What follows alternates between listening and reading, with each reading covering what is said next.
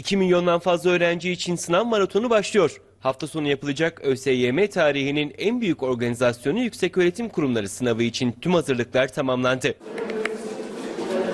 Sınav evraklarının hazırlanması, basımı ve paketlenmesi 40 gün sürdü. 4 milyon 548 bin 224 sınav kitapçığı ve cevap kağıdı basıldı.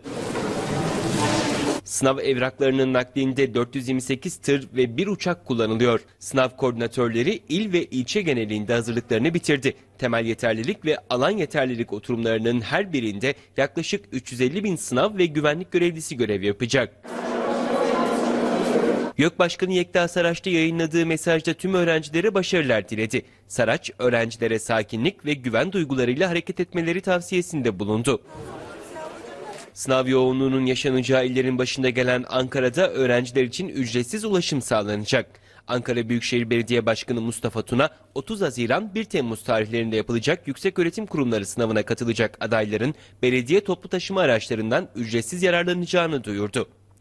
Başkan Tuna, başkentte toplu taşıma araçlarımızı kullanarak sınava gireceği adrese gitmek isteyen üniversite adaylarımız sınava giriş belgesini göstererek ücretsiz seyahat edebilecekler dedi.